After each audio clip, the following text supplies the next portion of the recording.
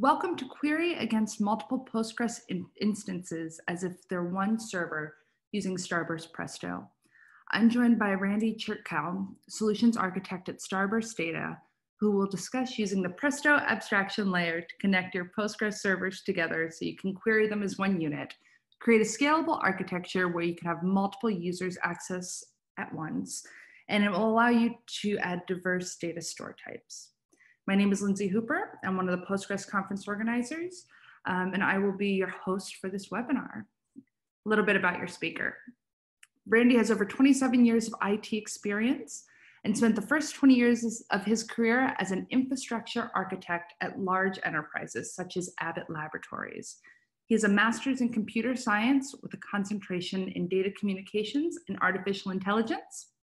Randy has spoken at technical groups and meetups all over the country about database topics and has been a regular speaker at Postgres meetups. Besides the extensive technical background, Randy's a musician on the side and has written four books with major publishers about the music business. So welcome to you, Randy. With that, I'm gonna hand it off to Randy. Take it away. Thanks, Lindsay. Thanks so much for having me. Can I can you hear my audio and see my screen before I get started? Absolutely. Thank you. Excellent. Thank you for making sure about that. Thanks everybody for joining. I actually come from uh, doing a lot of Postgres style meetups, actually was doing them across the country. I used to be at a company called Cockroach Labs, which made a version of a Postgres database that was highly resilient. And I was always really fascinated by the people who would show up because they always asked extremely detailed questions. At one point, I remember uh, bringing up something related to high availability Postgres, and, and they were asking questions that were super deep in the distributed systems area.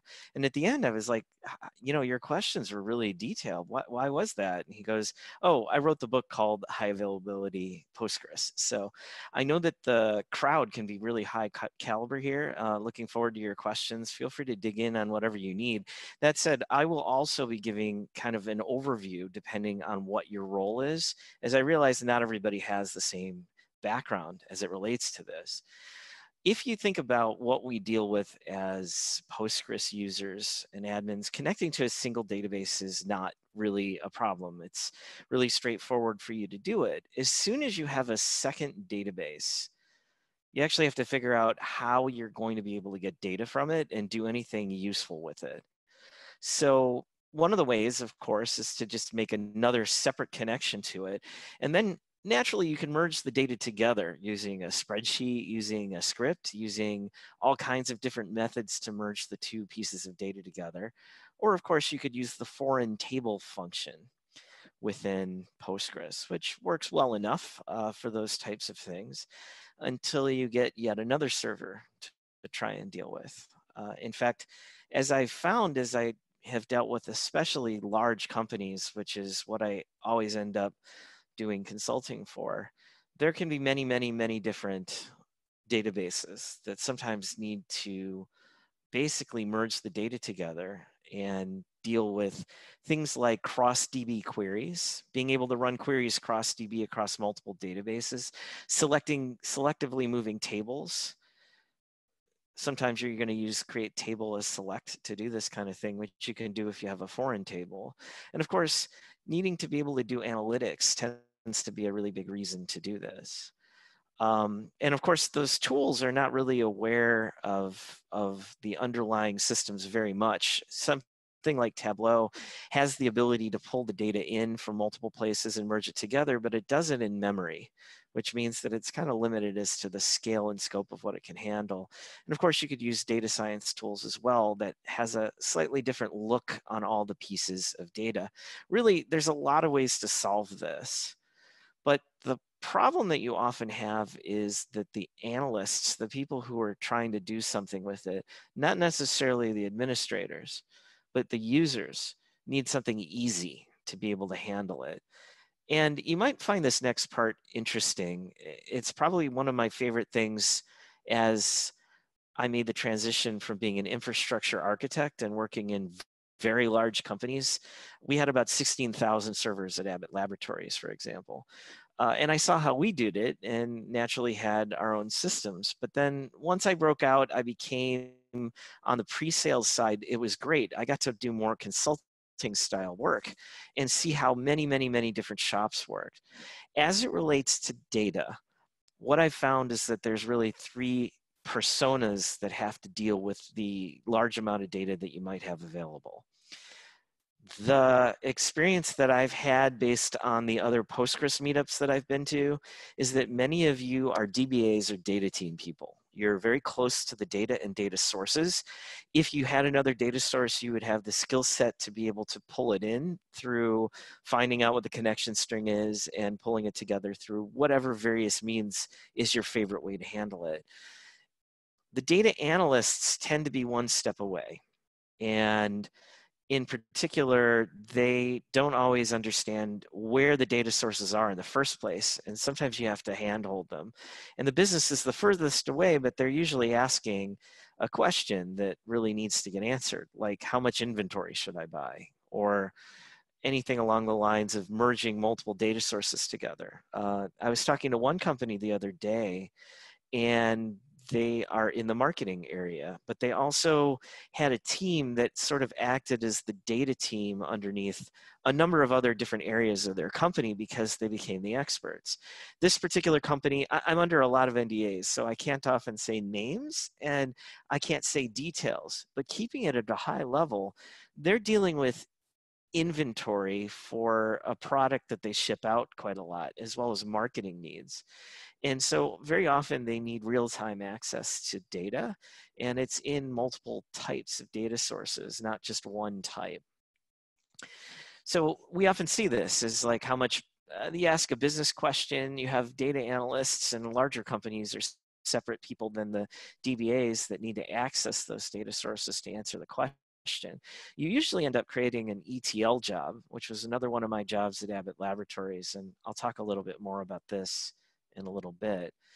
Uh, finally, you can provide the reports, and of course, they usually forget the question by the time you've finally come up with an answer. I, I think I was talking to uh, was another company the other day, and the uh, executive level was saying, "Why does it take?"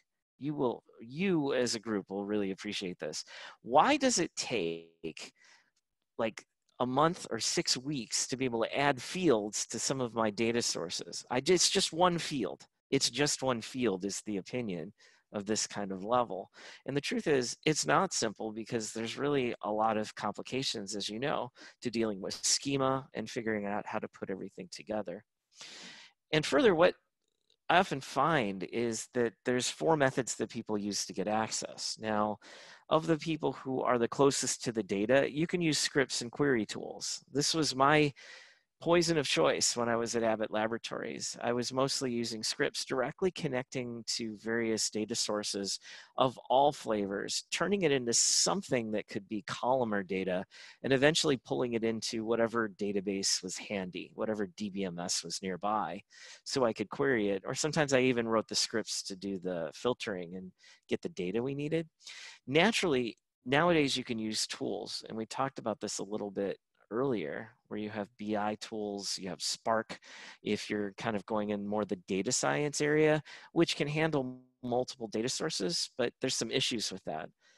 Uh, ETL is one of the most common ways, and as mentioned before, I had that at Abbott Laboratories. Our ETL, our data warehouse had, I think when I left, I had been there for 10 years, it had 25 different data sources is what I had counted by the time I was done. I also had something like 1,000 scripts that I had written over the time. It was surprising to me how few people knew how to script in the first place, let alone knew how to do to write even a simple SQL query. Whereas I had a lot of executives asking questions about the environment that we could only answer by dumping it together. If I had had number four, I would have been thrilled. It would have really made a huge difference to me because from all those data sources, if you use an abstraction layer, you can actually just grant a single point of access and query it as if it's a data warehouse. Query it as if it's just a single database. And I'm going to talk about how to put that together as it relates to Postgres today and how this comes together. What we usually find in companies that try and do it with purely tools is that the security becomes a real challenge. This might not be a problem if you've got a smaller shop, but I've dealt with many that have PII. If you're dealing with healthcare or life sciences, which is where I came from, you have PHI, public uh, private health information, and HIPAA rules to handle. And that becomes a little harder when you're decentralized in multiple data stores. You kind of want to put that in a single place if you can handle it. You also don't necessarily handle concurrency very well with these tools since each of them are trying to handle connections to multiple data sources.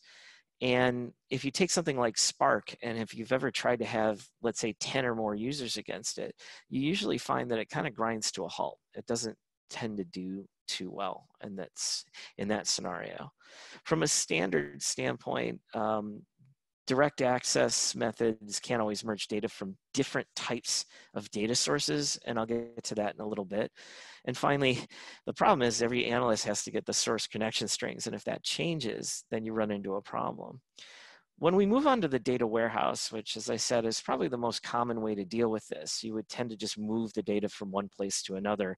And I used to write these all the time. Uh, I ran into these types of uh, problems and yes, I used a little bit of alliteration just to make this a little more fun.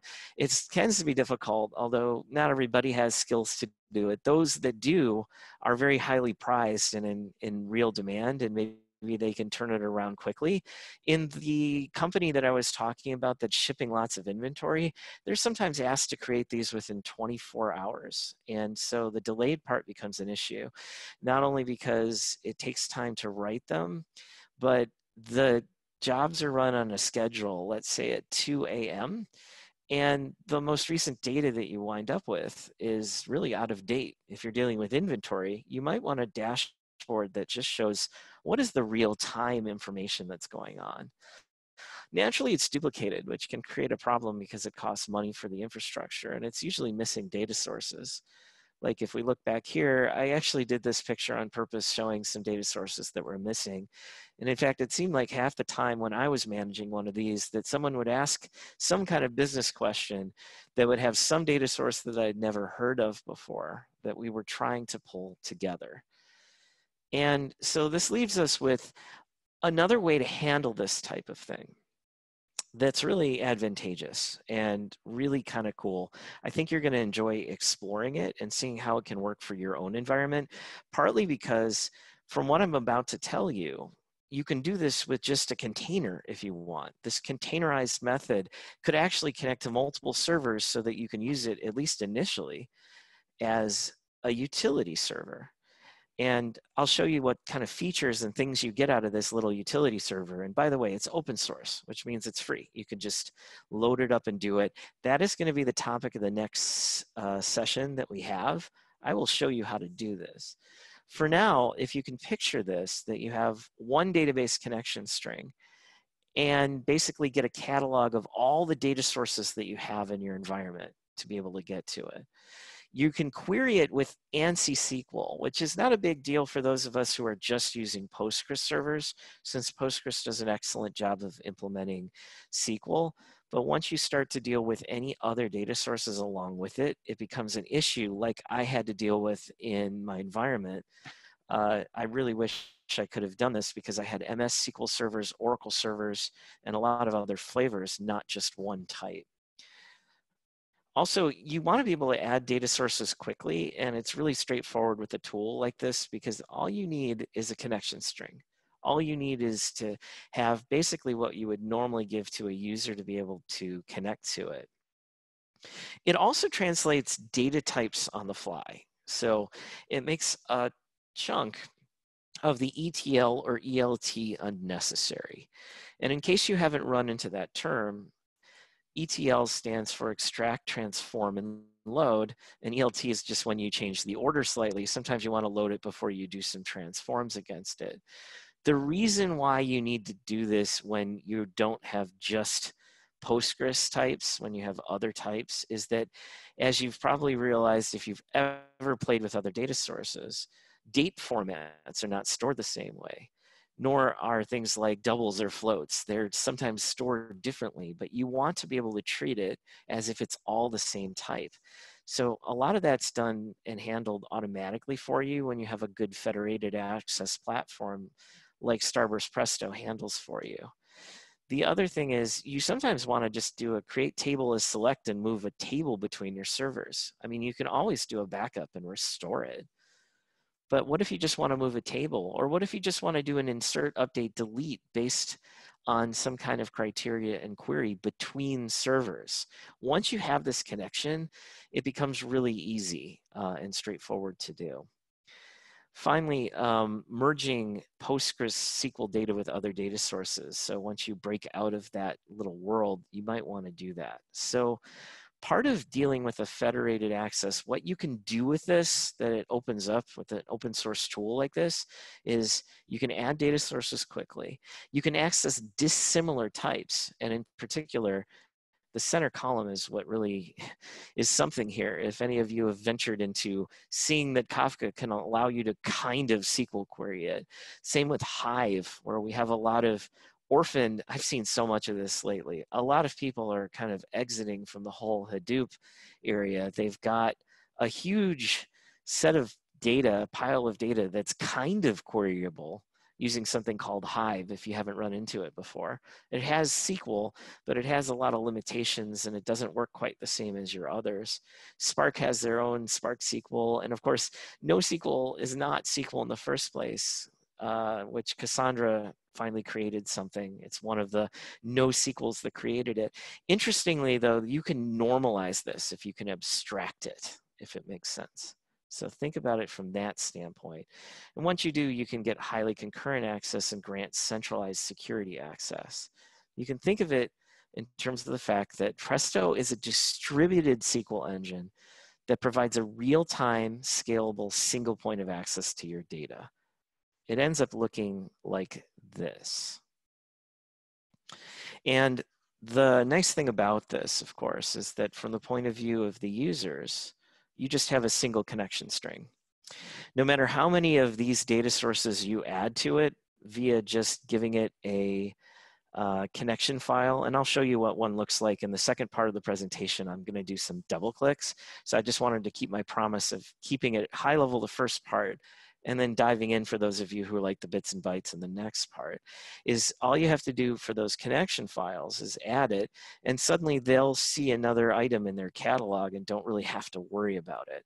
Again those of you who are administrators of a small company or even midsize and you're doing all the work it might work out great. As soon as you have a few users that are using it this simplifies your life quite a bit uh, and actually I often think of things from the different points of view of the different types of users that you would have that would want to get something out of the various data assets that you have, whatever data stores that you have. It's probably the number one thing that I really refined a lot after just dealing with a certain set of customers in my very large company. I, I see that there's a lot of internal customers that various people have to deal with. And all the business wants is quicker answers and, and they want it to be more precise. I dealt with one company saying we got we've every time somebody comes to me with uh, a response it looks different based on where they are and i want to get a, a more um, a more consistent answer when it comes to some of the questions that we have. This is a very very large insurance company and i'm not surprised those of you uh, who have dealt with a lot of statistical methods know that uh, the uh, the saying, the famous saying, "There are lies, damn lies," and statistics knows that that's absolutely the case. You can always manipulate data to show people what you want based on your point of view. So they actually wanted a, a better set of a clearer view from their data analysts. And of course, what we find from the data analysts is that they're always trying to get more data sources involved in their dashboards. But from the point of view of those of us who are mostly living at this level, and just trying to provide access to it, it simplifies things. You can add more data sources easily and provide scalable, controlled, and secure access. So really briefly, from the point of view of a data analyst, single connection string, and then a platform that can um, scale up to handle the load, uh, access new data sources that they're needed. Most of these guys are kind of drag and click. They're not even point and click. They may not even write SQL very well in my experience. And unfortunately, the kinds of SQL they can write can sometimes bring the system to its knees. Interestingly, when you have an abstraction layer, it handles some of that. It takes that away from being something that's going to bring your underlying systems uh, to uh, unacceptable levels of load. So it's it's a problem. And of course, new access is very easy for them. You can see it from the point of view of a data scientist as well, who are often trying to do things like Spark. And if you offload it to a platform like this, it becomes much easier. You can also do things like data masking. So if you have a social security number, you can show the last three numbers, or you could show a hashed version. Interestingly, when you have a platform like this, this is key. So you have these numbers, that are like this, you want to provide the underlying query without the masking. You just want to show the result in a masked form so that you can't see the details. And that's exactly how this system works. But key for you is for a lot of people who are in this type of zone is that your advantage is that you have a much simpler time administrating this whole platform. Um, we often get questions about scalability. Those of you who are really worried about making sure that there's just the right amount of infrastructure and not more is that you can actually scale it down. And since it's stateless, it's very easy to scale down. Security becomes a big issue. Just one final note on this before the next slides that I'm going to get into is the architecture. I'm going to talk about how this actually works for those of you who like the bits and bytes. But for some of those of you at the policy level and others who might be in financial institutions and health and life sciences institutions, the ability to do auditing, the ability to handle security, the ability to do fine-grained access to the point where you can say, somebody, this particular user can only see these rows in this particular table. Uh, and even you know choose which columns to do is really important you would rather do it in a centralized place than having to do it in all of the various data sources that you might have part of what this is made to do is to make that very simple for you and I'm not going to be doing a lot of demonstration on this. I might, for the next uh, session, I might talk a little bit about this that's scheduled in two weeks. But the great thing is you can use uh, something like Ranger, for those of you who might have run into it, to be able to handle that from a centralized standpoint. So that's an overview. The idea is, if I were to summarize it, is to simplify by abstracting it away and then providing a platform that's like really robust and secure so it can give it to you. And we already take we already took a look at this architecture document and got an idea that we have workers, we can add more workers as we need to, and we have our coordinator node. Let's go underneath the hood a little bit because I know that some of you really like to do this.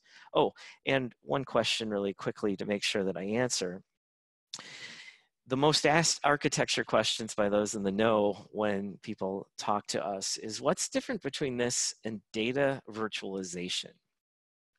And if you haven't run into data virtualization, it has a similar idea where they're providing an abstraction.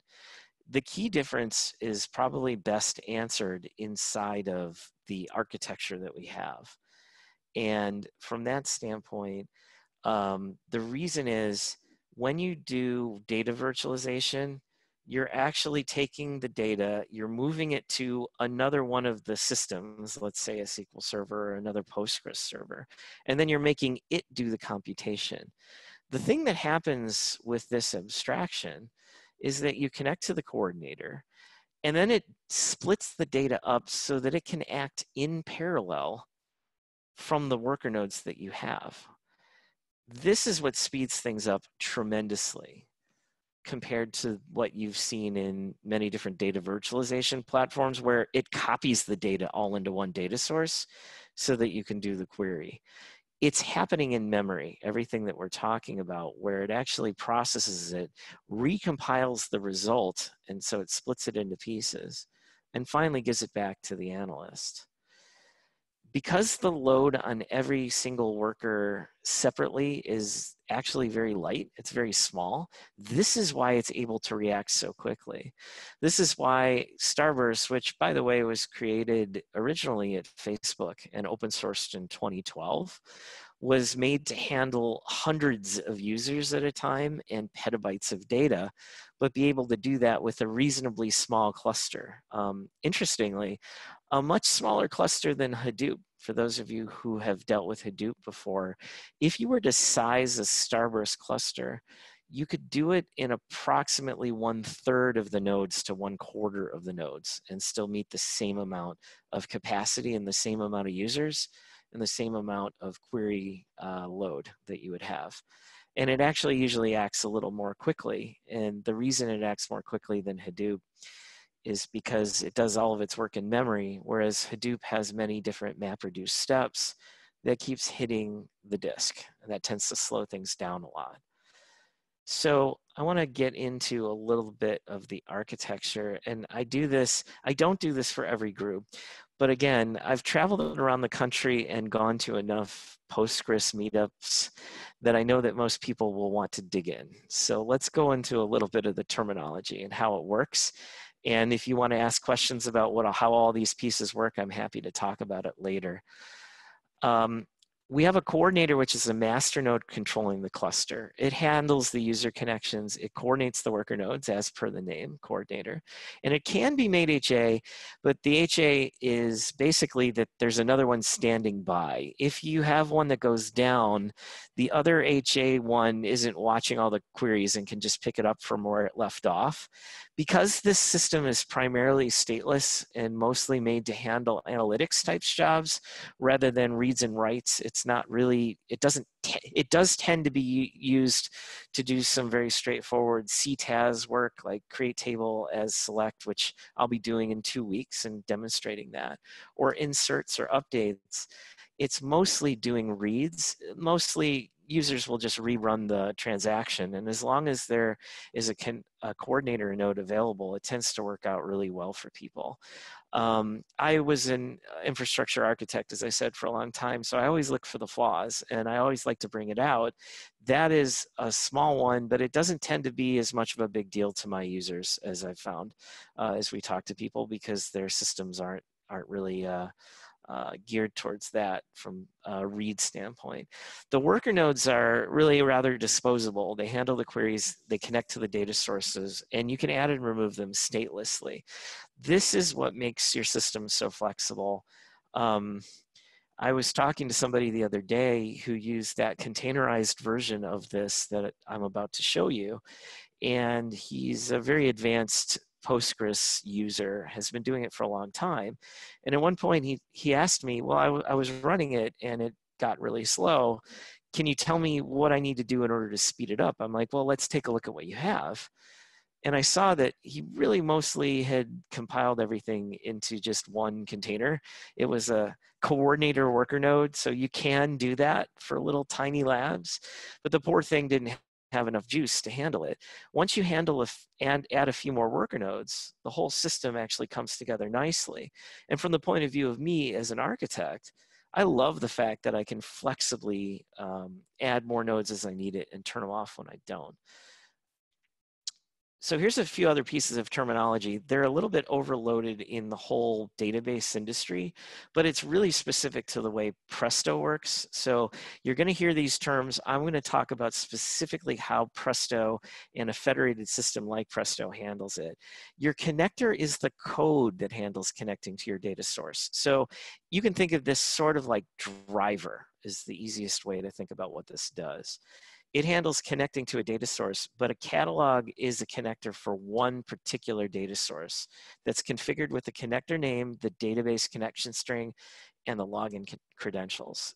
They're very tiny, they're very easy to create, and it's one of the reasons why it's so easy for you to add one. So you're looking at an actual catalog file right now, and I have, this one just has an example uh, uh, connection string. But as you can see, we really just have the connector name, which of course is PostgreSQL in this case, URL, which is the standard connection string that you would have used anyway. in any kind of tools you use.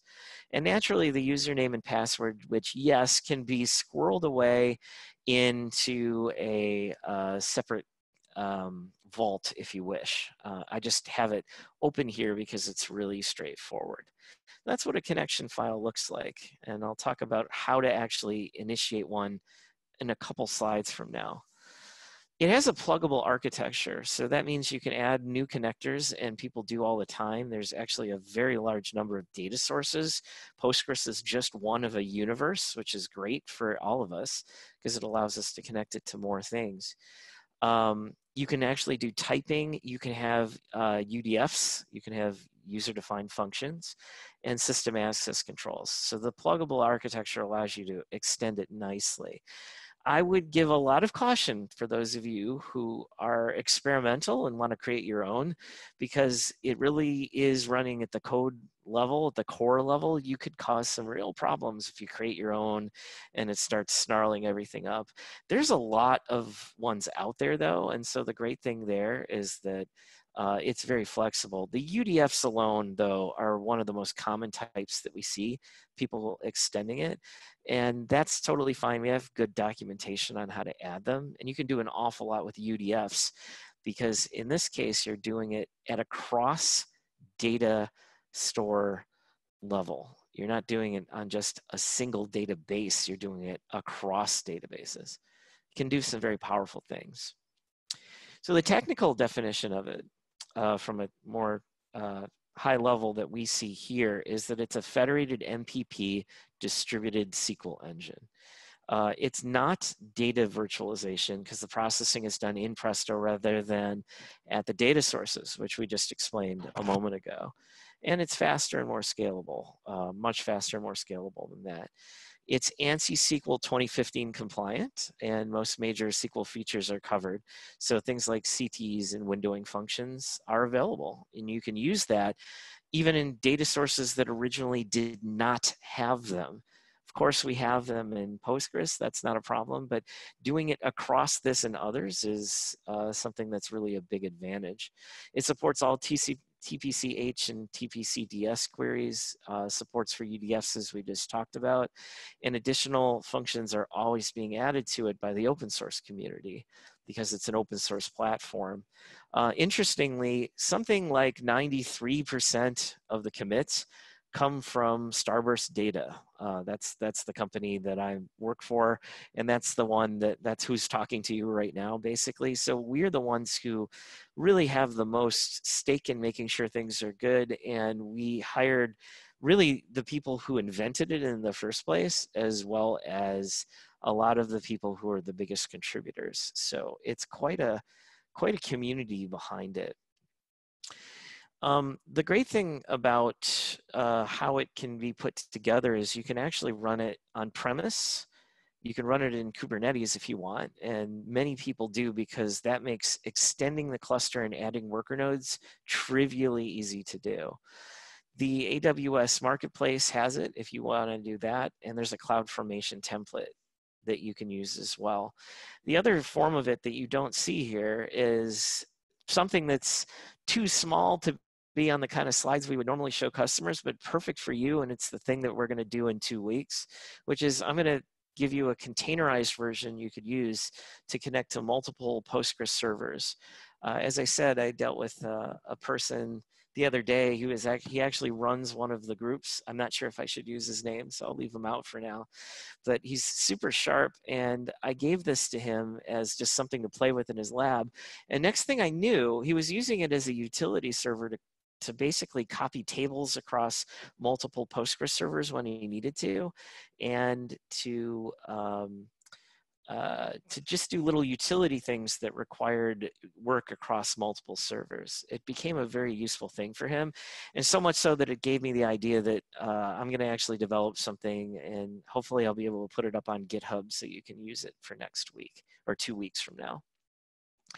Connecting to a data source is something that I promised I would talk about, and we already talked about the file. It's easy, trivial, takes a minute to do. Once you've created that file, you put it in the catalog directory of all the cluster servers, and then just reinitialize the nodes. And all of a sudden, users immediately have access to the new data source. Very straightforward and simple to do compared to, let's say, an ETL, like the company I talked about earlier, who sometimes were given 24 hours to write an entire ETL just to get the data together so that they could do it. Once you've done that, it actually appears as just another data source. And let me show you, I do have a live system right now. Uh, this one is running uh, in AWS. It's a Presto instance. And this one is connecting to many, many, many different flavors of data sources. So we have Glue, we have Hive, we have JMX, we even have a Kafka queue. Naturally, there's Postgres in the list. Uh, this particular one is a, is a live one that we have running that's just connected to a diversity of data sources so that we can show how it works. And you can do queries like this, uh, which is connecting four, three different data sources and four different tables. So this one's connecting Glue and MS SQL and Postgres as well into just a single query. And the neat type of thing like this is that the glue type of thing would normally be hard to merge together, but we've actually done an analysis of it. It actually feeds our uh, cost-based optimizer, so it happens lightning fast, and we can actually pull data together from multiple diverse data sources to do it. So just that's just a quick taste of what we're going to be doing, the kind of thing we're going to be doing in two weeks. Um, you can connect to object stores with it. I know this is a Postgres group, but for those of you who would be interested in doing that, if you have ORC or Parquet files and, and using a Hive metastore, it becomes really straightforward. You don't need to run Hadoop. In fact, people are starting to use these abstraction layers, these federated layers to replace their Hadoop systems. It runs much faster, as mentioned, because it all runs in memory. It's very cool. Um, supports many different flavors of it, and you can use partitions and bucketing. This is a full list of data sources that you can go after, and it this tends to be a very big advantage to people. Now, of course, the one that we all love is Postgres, and you can do multiple Postgres servers on the Starburst Presto cluster, and you could be done at that point. But if somebody ever asks you, for a piece of data that happens to be in MySQL or MariaDB naturally, or MS SQL, Oracle, Teradata, even Snowflake, which tries to eat the world, tries to pull data from everything. Uh, even Snowflake could be connected to other flavors of data sources, including a Kafka queue, to be able to answer some of the queries that you might need. And the way that you connect to it is you just get a single connection string. Uh, it looks like, um, let me show you what it looks like with the instance that we have right here. Uh, this one, we don't have a DNS entry for it, so it's a little bit raw, but I know that that's the way that this group tends to like it. The connection settings are just a JDBC connection to Presto, and it's port 8080, and that's all. Once you have that, you get a connection, that same um, the, the web port of that particular server actually would end up having your console. Um, so uh, for finished queries that I might have here, like this is the one that I just ran just a minute ago, you can actually see how it ran, see how it broke it up into five different stages and actually sent the data to different worker nodes. We can go into that at another time because we only have a few minutes left. So I want to make sure I get through the architecture really briefly there are many different business uh, intelligence tools that already have a Presto connection. So this makes it really easy for anyone who would try and use it to put it together. And also plenty of data science tools. Um, once you do, you combine things using a three dot notation. We're used to two dot notations, of course, in um, Postgres, but three dot would include the data center, the database, the table, and then you can combine the data sources in one query uh, to do that. I just demonstrated one of those a minute ago. I can go more into this if you want to in the Q&A session since we're headed towards the end of this time period. Scaling in and out just means adding nodes uh, or leaving them behind if you need to, shutting them off uh, when they're done. As mentioned before, Kubernetes makes this particularly easy if you're familiar with it. I can explain how that works again in the Q&A for those of you who might not be familiar with how that works. It's pretty neat. And operationally, it's stateless. So you just back up those little config files. They're tiny files. You can even put them in your um, code repositories, GitHub or whatever you're going to use. And as mentioned, you can use HA warm standby coordinators uh, if you want to. K8s is particularly good because if your uh, coordinator dies, it will just restart it, no problem. Uh, and sometimes people create multiple clusters to be able to deal with it. Finally, uh, the last little piece to it is pretty neat. There's a cost-based optimizer that's cross data source. If you want to see a little bit about how this works, uh, we actually have a book out about it. There is a book on Presto that goes into it. And the uh, enterprise version does some neat things in that it grabs extra statistics to make the cost-based optimizer even more effective.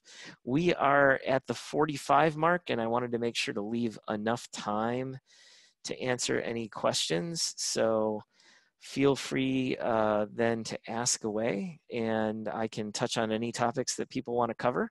That's it for the overview for now. And um, just in case you need to drop off, in two weeks, you're going to see it in action just against Postgres servers and in a little setup that you can run in your lab. The third session that we're going to do, which is two weeks after that, is going to be about connecting it to multiple disparate types of data sources, just so you can kind of open up your Postgres servers to a broader world. Okay, that was fantastic. Thank you so much, Randy. I've had two questions come in, um, okay. but anyone else, uh, please send theirs over now. Um, the first is at a high level, what's the difference between Presto open source and the enterprise version Starburst? That's a very good question. And of course, we, like many um, enterprise companies that have uh, an open source behind it. We like to make it very easy for people to run it in their labs and as necessary. But once you enterprise eyes it once you start to actually operationalize it and run it the way that I used to run things back when I was at Abbott Laboratories, you actually need a lot more, first of all, support more than anything else. So at a high level, the support alone is actually really worth having. But besides that, we actually provide connectivity and connectors that are not available in the open source version. And the reason for that is that these are more enterprise data sources that we've dealt with the various uh, vendors at hand, like Oracle and others. So, uh, like Teradata connector, for example, is something that you can only get as an enterprise uh, user of the product. The other part of it is the enterprise versions of the connectors that are available in open source are much more robust. They actually grab table statistics and metadata so that the cost uh, based optimizer, the CBO, becomes much, much faster. So the connectivity actually goes back and helps out the performance. On average, it's about seven times faster than the open source version. And this can be a, a really huge uh, help when it comes to this. Probably one of the biggest cornerstones of most of them are security. And uh, the one of the aspects related to this is the fact that, as mentioned before, if you have a financial institution, if you have a life sciences company, um, if you have any kind of uh, system that requires you to do, let's say, data masking because the data is identifiable, you need to have all of these extra features, and that's something that we poured a lot of effort into. Open source, while they're somewhat interested in this, it's not as uh, let's say sexy for people to work on this but it's the kind of thing that enterprises require to have. And so we've poured a lot of effort to making this as robust as we could so that it can meet your security audits so that it can meet all of your regulatory requirements. And of course we've enhanced the management functions but i'll leave that as a very high level thing. Uh, i have details on each of them in case anybody wants to dive in like if you really want to see how the cost-based optimizer works. I have some neat slides and how the parallel connectors actually get much faster data as you can see that or on the security standpoint, how we handle Kerberos and LDAP and fine-grained access control. But I'll leave that as a high level for now and, and leave the rest for double clicks. And our second question, with all this information, what are the top three takeaways from this presentation? Oh, oh, what a great question. I wish I had prepared an answer to that ahead of time because it deserves a very tight, very straightforward answer. I will do my best though. I think that the first takeaway is that if you ever need to connect to multiple data sources, first of all, multiple Postgres servers, but certainly multiple uh, data sources of any type, that having a federated access layer can make your life much easier and much more straightforward. Um, second of all, if you ever have a data analysis problem, then very often the issues that you're going to face are not just related to the main data servers that you have, but actually trying to create a coherent look on all of it. Uh, and you wind up with this partial view that I had to deal with very often. I really, really wish I had had this tool back at the time. Once you bring this to this type of architecture, you can add new data sources. And not only that, as mentioned before, with the company that I dealt with that deals uh, that sells a lot of product uh, on a regular basis, it gives you real time access. And man, does that simplify things so much and and make your life much better. And finally, uh, as a third thing, if you're going to implement something like this, you would find if you looked in the space that there's a lot of potential uh, ways to try and get at multiple data. It's not surprising because very often you need to talk to multiple data sources in order to answer the simplest questions. You will find that um, in particular with Starburst Presto that considering its history, as mentioned, it grew up at Facebook where they, they dealt with petabytes of data and sometimes hundreds and hundreds of users. This is a system that can handle running as a little container on your laptop, which is what we're going to do next session and then scale all the way up to having hundreds of thousands of users. There's a company that I talked to the other day that handles reporting. Their end users can make requests for reports. They claim that at their peak period, they can get as many as 1 million reports per day, million report re requests per day. And at that kind of scale, you actually need to be able to have a platform that can offload this properly and respond quickly. I, I think the name is actually really well chosen, Presto. So the, the idea behind having a good federated platform is one that can start from a small seed and can grow as large as whatever your particular IT needs are at the time. What we found with the other ones out there and all the various solutions is that some of them hit a, a scaling limit that's actually far too low. And part of it is like in a data virtualization sense, which we talked about previously, um, is that it tries to do the work in just the end data sources and all the workers are doing is copying data between it. Eventually you end up straining your end data sources when you really, what you would prefer to do is actually have the work being done at the workers, which is what we've talked about before. So those are the three things that I might uh, pass on to anybody who's just trying to make sure they walk away with something useful. And as mentioned, I will make sure that you have very practical ways to use this in your own labs as part of this talk series that we've put together for you. Well, that was great. Um, I haven't seen any other questions come in. So with that, um, I think we'll give everyone a few minutes back in their day. Uh, so first of all, thank you, Randy and Starburst. Um, this was a great presentation. Um, I learned a lot. And then secondary, not secondary, but second, thank you so much to all of our attendees. Thank you for joining us. So whether it is morning, afternoon, or evening, I hope you have a great one. And I hope to see you back here um, in a few weeks for the next Starburst webinar. Um, and I hope to see you next week for the next Postgres conference webinars. Cheers. Cheers. Thank you.